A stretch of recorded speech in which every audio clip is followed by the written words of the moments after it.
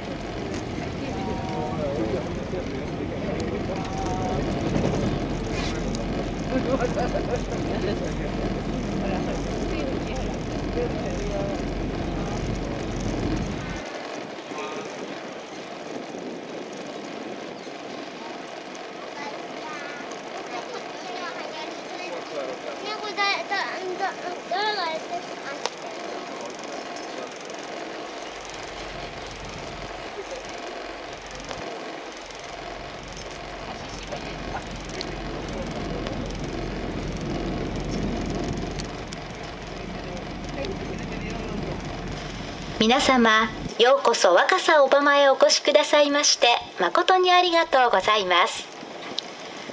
ご乗船いただいたこの遊覧船はノチセ総トン数19トン航海速力22ノット時速約40キロのスピードで航海いたします。航海中は船が揺れる場合がございますので船内を移動される時はお足元に十分ご注意ください。また海へ落とし物などなされませんようお気をつけください。万一の事故の場合の救命胴衣などにつきましては客室内の座席下と船首保管場所に備え付けております。着用方法については船内に掲示してあります案内パネルにてご確認ください。お手洗いは客室内後部にございます。なお客室内は禁煙となっておりますのでご協力のほどよろしくお願い申し上げます。その他ご用がございましたら係員までお気軽にお尋ねください。これから船は小浜新港を後に小浜湾若狭湾へと出てまいります。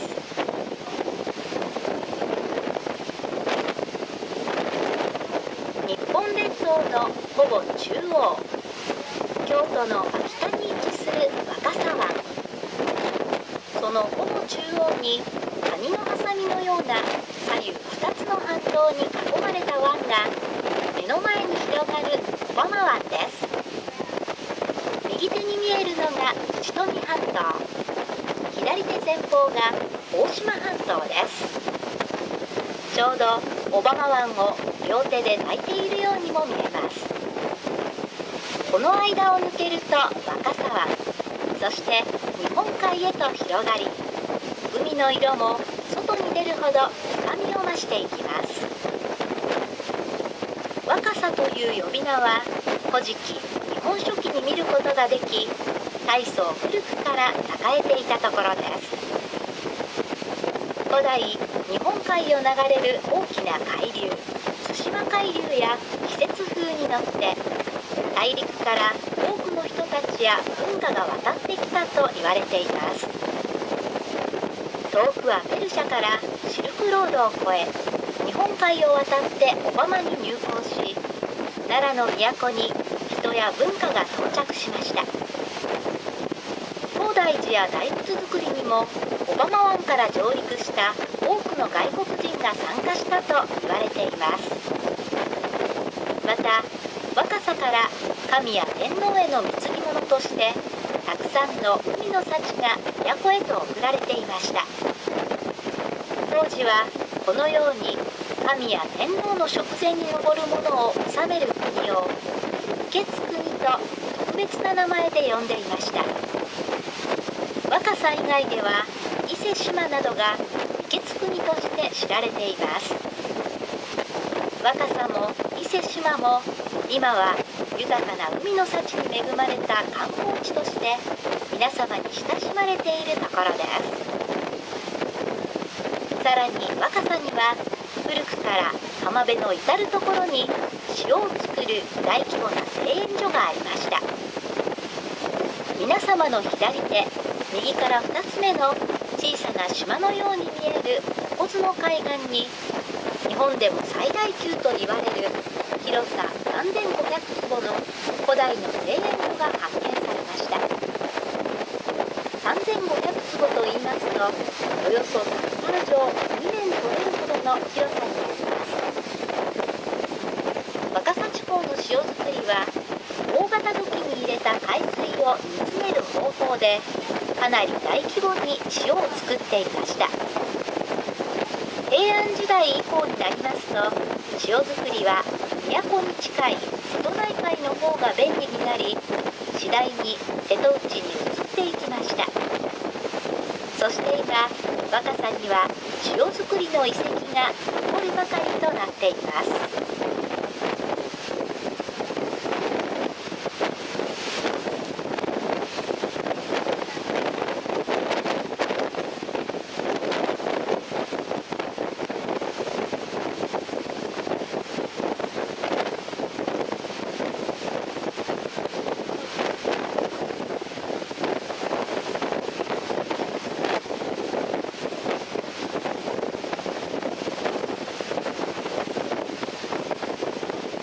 皆様右手前方の小さな島をご覧いただけますでしょうか。この島は双子島と呼ばれこの方向から眺める姿がとても美しく小浜を代表する風景の一つです。この島に寄せて昔から多くの歌が読まれています。そのうちの一つをご紹介します玉串毛双子の島のあけぼのに家に家ずに行く小舟かな漁師さんの小舟が双子の間に見えたり隠れたりしながら朝焼けの海に向かって進んでいく。そんなゆったりとした美しい情景を歌っています。では船は双子島を回ってまいります。皆様若さに若狭八景があるのをご存知でしょうか？中国湖南省の美しい湖。洞庭湖を読んだ少々八景をなぞり300年から400年前に各地で8カ所の美しい風景が歌として読まれました。若さでも美しい海を背景として若狭八景が呼ばれそのほとんどがこの小浜湾周辺を読んでいます。そのいくつかをご紹介します。左手後方にそびえる忠田岳の墓説万葉集に歌われた野地瀬の晩鐘。そして今から通過する若狭湾の入り口間口の規範などこの小浜湾の四季が存分に歌われています。皆様右手に見える海岸線はそうです。海岸線に寄り添っている集落が見えますが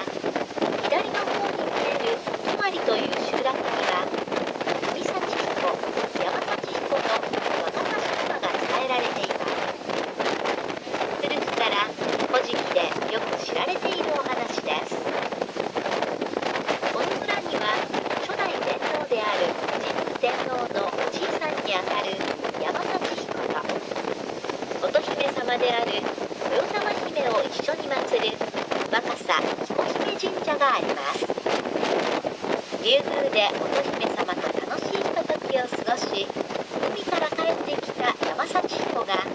この村で一晩泊まられたそうです山山幸彦がお泊まりになったところからこの村をお泊まりと呼ぶようになったといいます古事記では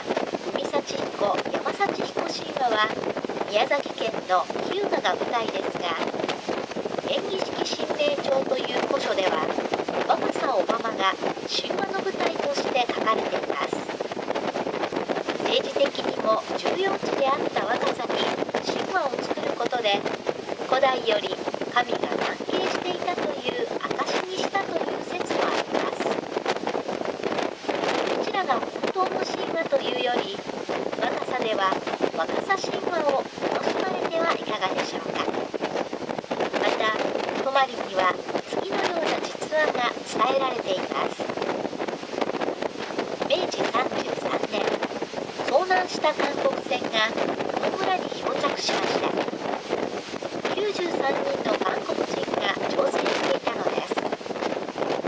遭難船を発見した村人は小舟を繰り出し全員を救助し村でお世話しました。言葉が一言も通じない者同士がこの事件を通して心をつなぎやがて別れる時には浜辺で親子のように泣き別れ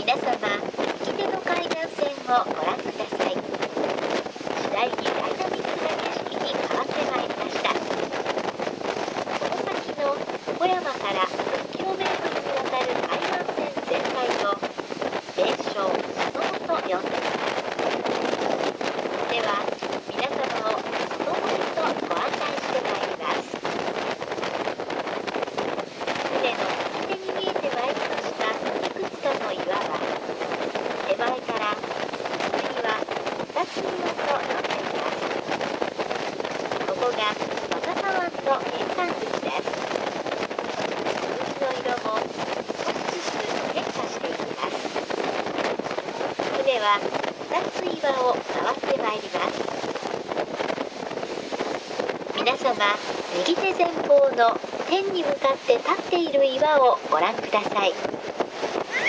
根元より頭の部分が大きくなってイースター島のモアイのような形をしている岩です。この岩を釜の腰と言います。農作業で使う釜の柄の部分にそっくりなところからそう呼ばれています。この辺りから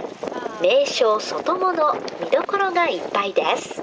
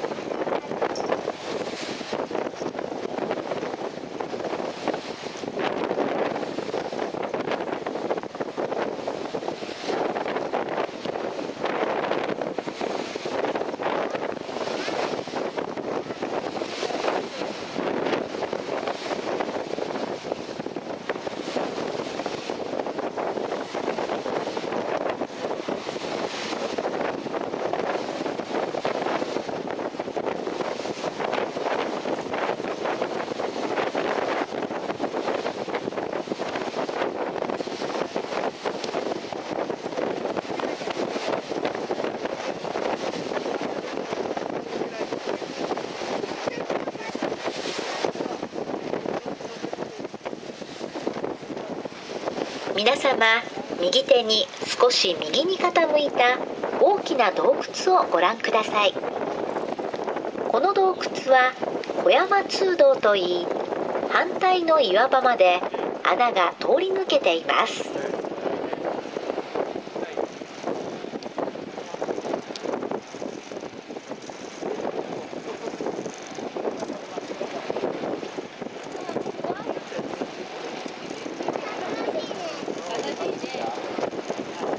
手の小高い山は小山と言います。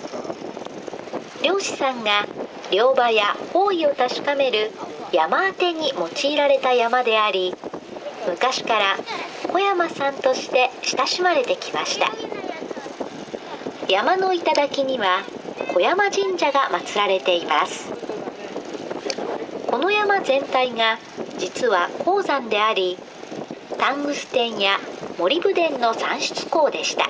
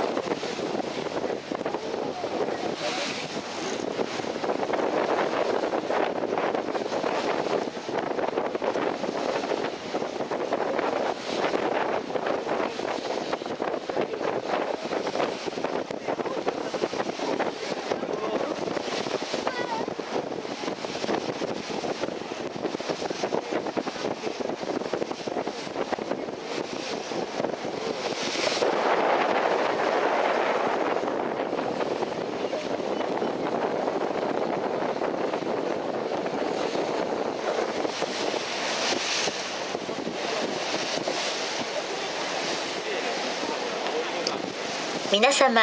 右手に見える洞窟は地獄門と言います。この洞窟の奥行きを誰も知らないところからこのような名前がついています。皆様今ご覧いただいている外門は江戸時代中期に描かれた全長7メートルの絵巻物。小浜城下外門景観図に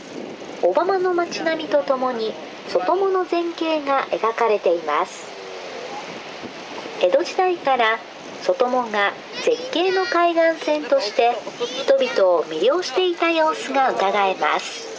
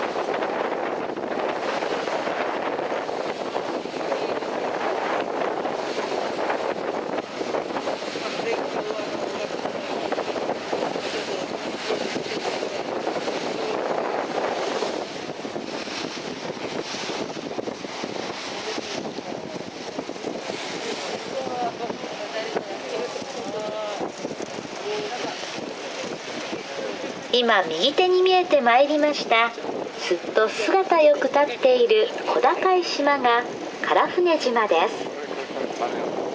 その昔南蛮人を乗せた唐船をこの島につないだところからこの名前がついたと言われています。唐船島に向かい合っている岩をご覧ください。岩に網の目のように亀裂が入りまるで網をかけたように見えるところから網掛け岩と呼ばれています。では次に小石ヶ浜へ船を進めます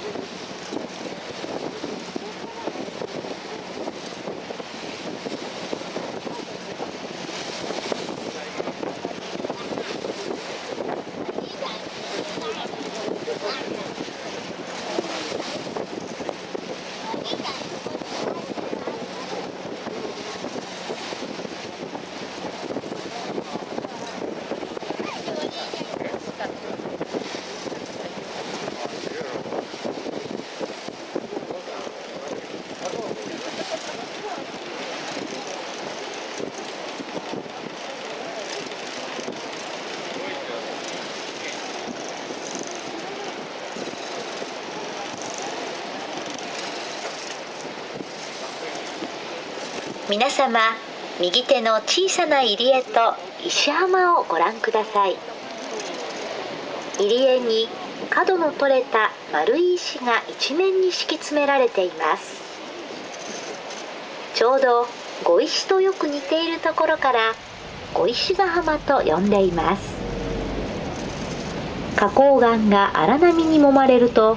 碁石のように丸くなってしまうのですから自然の力には感心します。では船を先に進めます。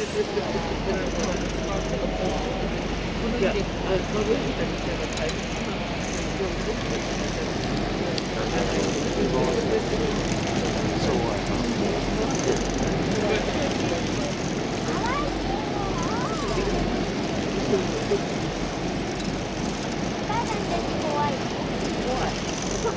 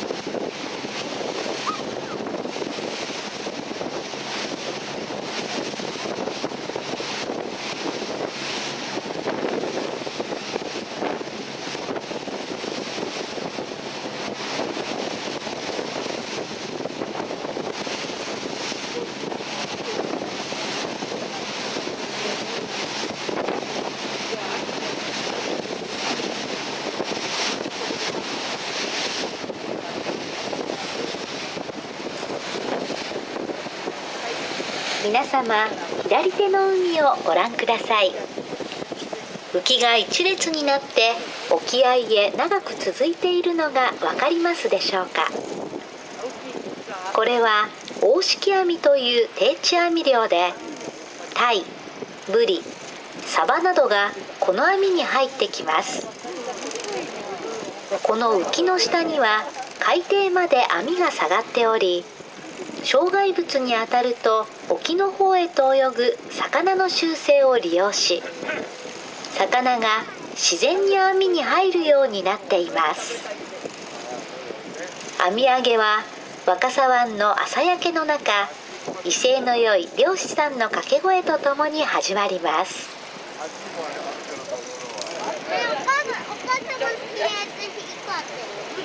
無理そうやね危ない危ない危。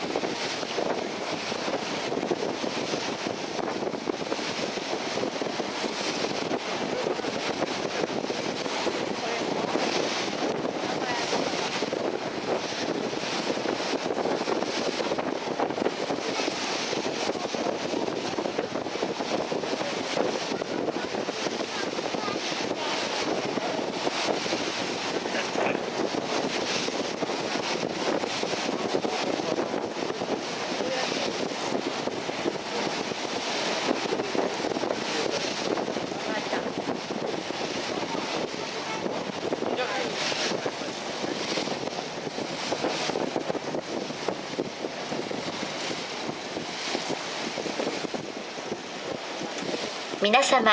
右手前方の三角形をした大きな岩をご覧ください。この大きな岩はあご越えと言います。若狭地方では飛び魚のことをアゴと言います。ある時アゴがイルカやサメに襲われこの大きな岩を飛び越えたということからアゴ越えと呼ぶようになりました。飛び魚は高さ4メートルから6メートル。最長滑空距離400メートルをグライダーのように飛ぶこともあると言いますからこの岩を越えるくらいは簡単なことかもしれませんね。次に顎越えの左下の磯に亀の形をした岩が見えてきますのでご注意ください。右手夫婦亀です。同じような大きな亀が2匹おぶさっているように見えるところからこの名前がついています。亀と言いますと鶴と並んで長寿のめでたい生き物ということから地元の人にも大事にされていますが全くの自然の彫刻です。では船を先に進めます。皆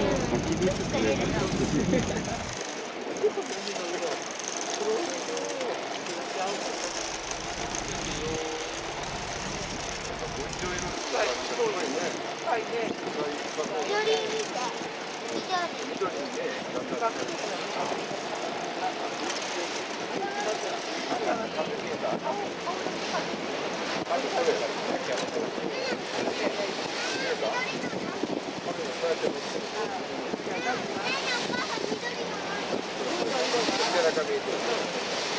you.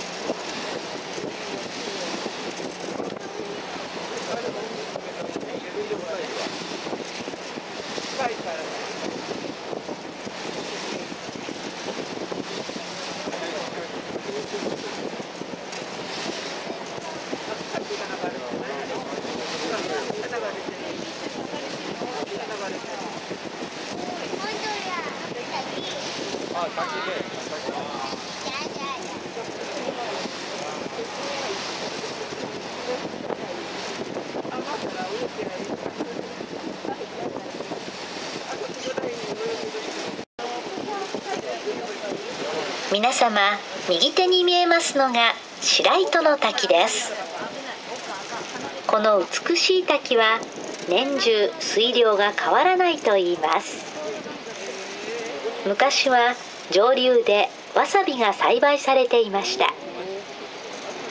地元の人は取ったわさびを船に乗せるため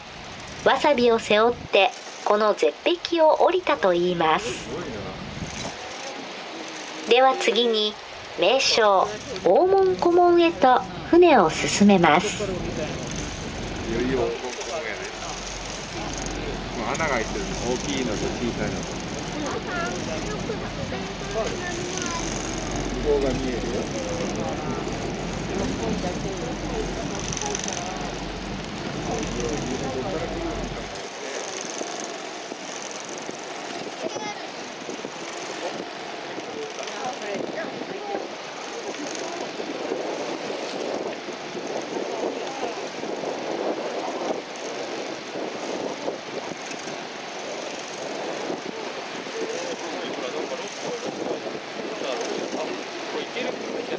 泡だよ穴開いてる穴開いてるこれだよ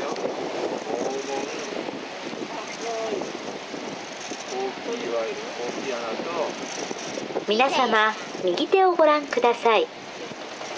名称大門古門です。左を大門右を古門と呼んでいます。大門古門はここから見るとさほど大きく見えませんが古門の高さで大人の背丈の3倍以上あります。大門古門の中に滝をご覧いただけますでしょうか。この滝は吹雪の滝と呼ばれています。あるけどなあのお風呂の水が流れてる見える誰が手振ってる誰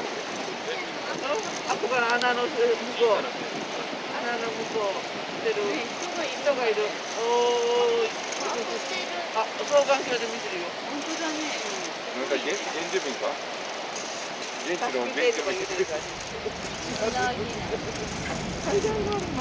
やそこ上がれるんだようん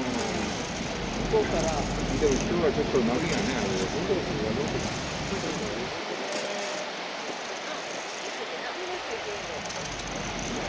漁師とかなんかおじいちゃん13になんかよあの何回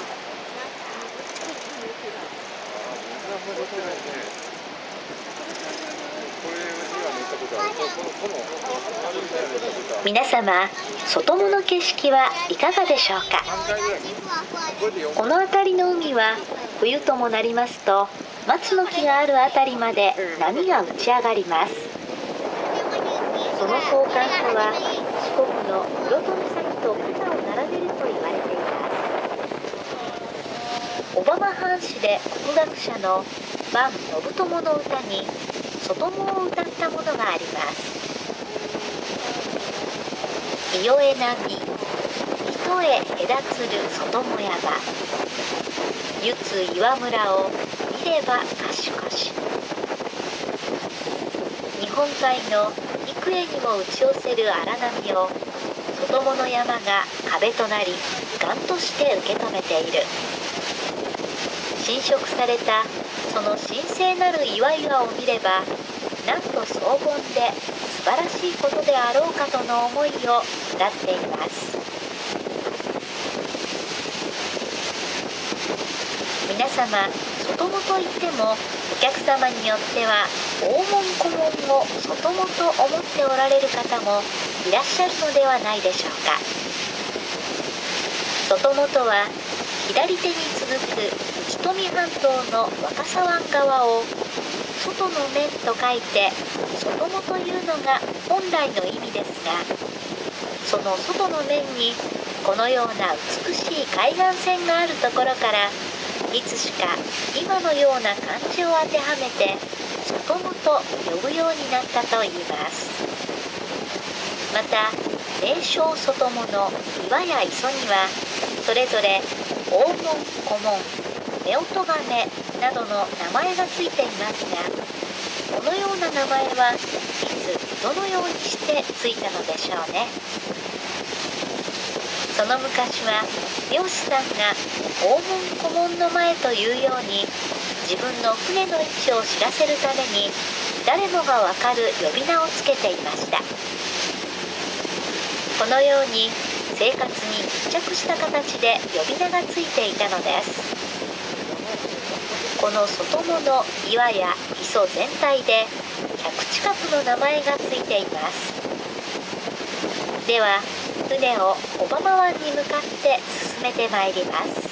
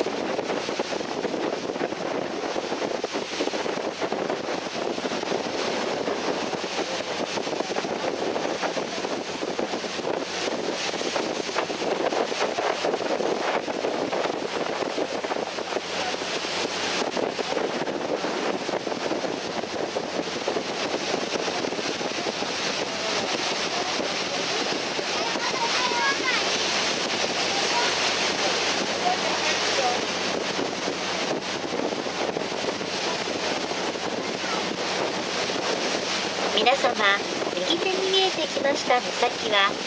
横切崎と呼ばれ熊笹が透ける美しいところです。先端には横切崎灯台があります。灯台の左に見えています。白い建物は関西電力大井原子力発電所です。放出力は471万キロワットで京都府滋賀県奈良県が消費する電気が賄えるといいます原子力発電所は大量の水を必要としこの発電所では1号機から4号機全てが稼働した場合1秒間に300トンもの水を使うそうです。300トンというと25メートルプールを満水にした量と言いますから大変な水量です。続いて発電所の左手山が波のように見えるところとその先の小さな島をご覧ください。この小さな岬は赤栗と呼ばれています。波のように見える山を猫の手と見れば猫が座ってくつろいでいるように見えるところから猫栗とも呼ばれています。波の変色を受けた縄文絶壁の岩場がある美しい島です。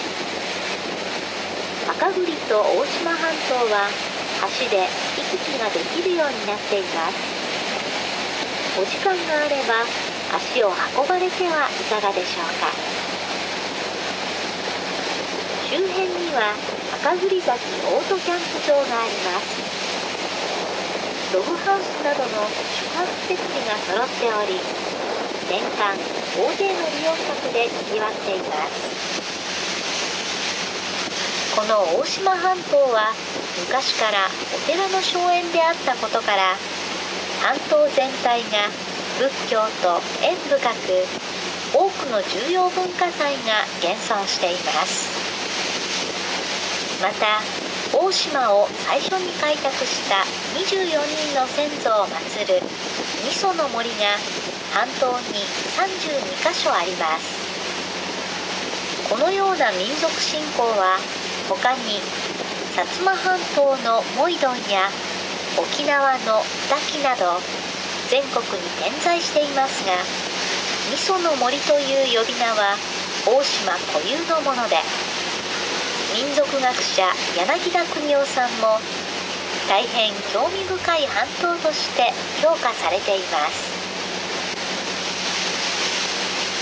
船は小浜湾へと戻ってまいりました。この小浜湾の入り口は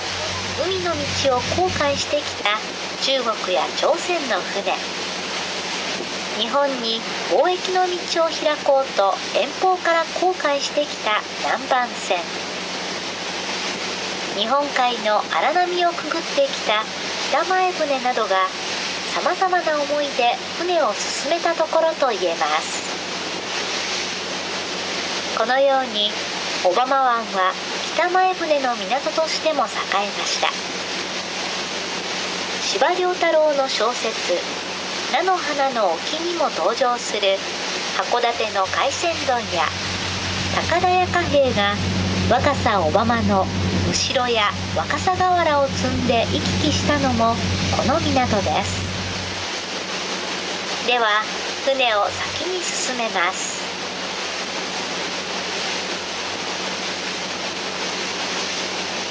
皆様右手遠くに島のようなものが3カ所見えますが最も左の島は1年を通じて木々が青々としているところから青島と呼ばれています。周囲 1km 海抜 39m あります。この島は暖かいところでのみ育つという暖地性植物が自生する最北原地と言われ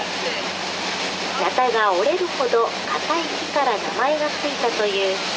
幹回り2メートル50センチのナタ折れの木など70種類もの暖地性植物が自生しています。南方から島海流に乗って暖地性植物の種が流れ着き根付いたのではと言われています。皆様若狭小浜は恵まれた天然の良好とその奥に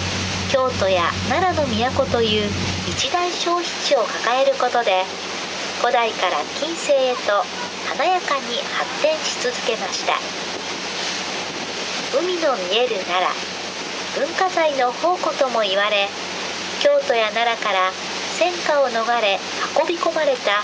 国宝級の仏像や建造物。そして大陸文化の影響を強く感じさせる寺院があります。寺院の数は市内だけで130に上り小浜と同じくらいの町ですと平均の寺院数は30くらいと言いますから海の見える奈良という表現もうなずくことができます。また若狭小浜は城下町でもあり約570年前武田氏が右前方に見える野津山山頂にお城を築いたのが始まりです。その後江戸時代に入り江戸幕府の最高職である大老にもなった酒井忠勝が12万3500石の小浜藩主となり3層の天守閣を持つ小浜城と城下町を完成させていったのです。小浜城は皆様の左手前方の小浜市内海岸沿いに作られ三方が川一方が海という水城でした。お城の石垣は先ほど遊覧していただいた外物石を裏々の船に乗せて運び込んだといいます。また小浜は日本で初めて象が上陸した港でもあります。時は室町時代。応永15年6月22日。南蛮船が小浜に着きました。当時国際貿易港として発展を遂げていた東南アジアのスマトラパレンバンの王様の船で日本でのビジネスチャンスを得ようと四代将軍足利義持への献上品を運んできたのです。象1頭黒山馬1頭。クジャク2羽などが船に乗ってやってきました。初めて象を見た小浜の人たちの驚いた声が聞こえてくるようです。そして当時象をつないだと言われる岩が現在も残っているそうです。古代から稲作を中心にしていた日本においても海の道は小浜から世界につながっていた国際都市だったのです。海の道の終着点小浜は京都への陸の道若狭街道の出発点でもありました。若狭小浜から京都出町柳へと通じ古代よりたくさんの人物情報が行き来し大層栄えていました。この道はサバ街道とも言われ小浜のサバの水揚げが全国上位を占めていた頃さまざまな海産物とともに小浜でひとしおされた新鮮なサバを一晩かかって京の都に運んでいた道です。若狭から京都に運ばれたとしおもののサバは5月の葵祭りに欠かせない京料理の一つサバ寿司として京都の人たちに好まれてきたのです。若狭小浜は新鮮な魚介類海藻類をはじめとしてひとしおもの焼きサバ新鮮なサバをぬか漬けにしたへしこ古代の笹漬けなど古代より神や天皇の食前を担ってきた受津国ならではの特産品を今も作り続けています。では船を小浜新港へと進めます。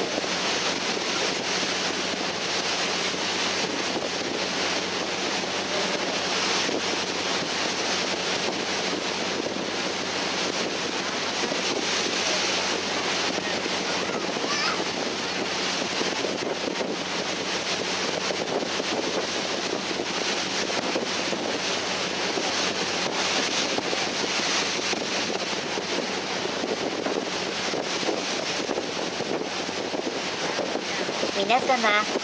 海の道終着点であり陸の道の出発点であった若狭小浜それゆえ育まれた豊かな食文化をご案内しながら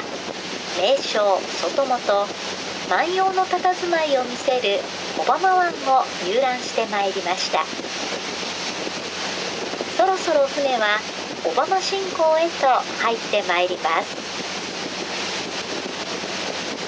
この新港には魚市場があります。ちょうど左手2階建ての白く細長い建物です。若狭湾で操業する数百隻の漁船から水揚げされた魚介類が集まってきて毎朝7時半のサイレンを合図に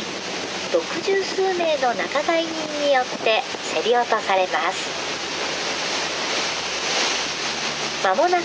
船着き場です。本日は外も巡り遊覧船にご乗船いただきまして誠にありがとうございました。またのお越しを心よりお待ち申し上げます。